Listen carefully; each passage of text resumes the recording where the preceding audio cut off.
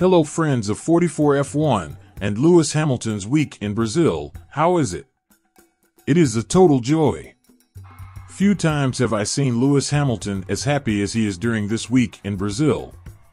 He is enjoying a lot these days in his new country, yes, because now Hamilton is also Brazilian, at least that is how the Brazilians consider him after the driver received the title of honorary Brazilian citizen. But what has Hamilton done these past few days in Brazil? He did everything. He became a Brazilian, visited a favela in Rio de Janeiro, and risked his own life climbing a monument on Morro de Providencia. He bet on a race with children, was chased by a crazy woman, met with singers, a surfer, a TV presenter who was his taxi driver, had dinner with a beautiful mulatto girl, visited the British Embassy, met with speakers, and visited Ayrton Senna's farm. Wow man, this is crazy. Now come with me as I tell you this story. Earlier this week Hamilton went to Brasilia, the capital of Brazil, where he was honored and given the title of honorary citizen of Brazil. If you want to know more about this, there is a complete video here on the channel. A funny thing happened at this event. A woman came running barefoot behind Hamilton, who got scared.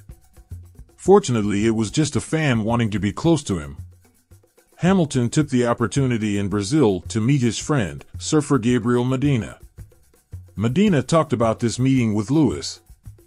This means a lot to me, my great friend and now Brazilian, Lewis Hamilton. In Sao Paulo, the Mercedes driver had dinner with singers Seu Jorge and IZA.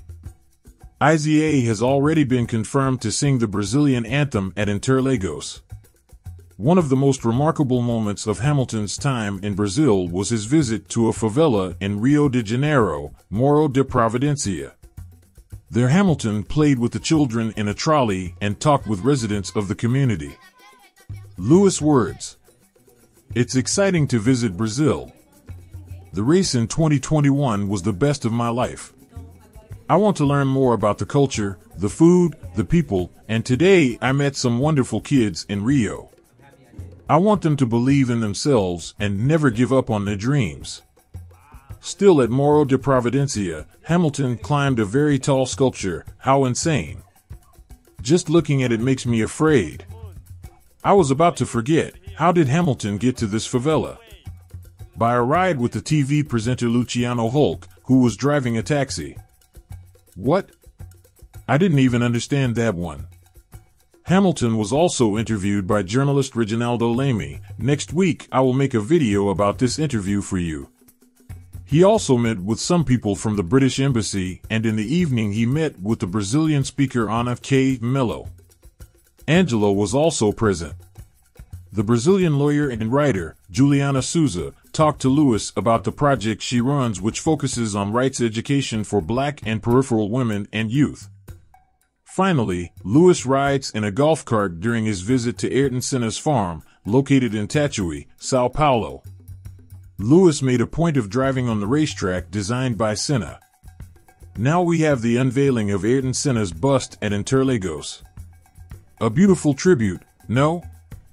This is 44F1. Enjoy the video, subscribe to the channel, and share with your friends.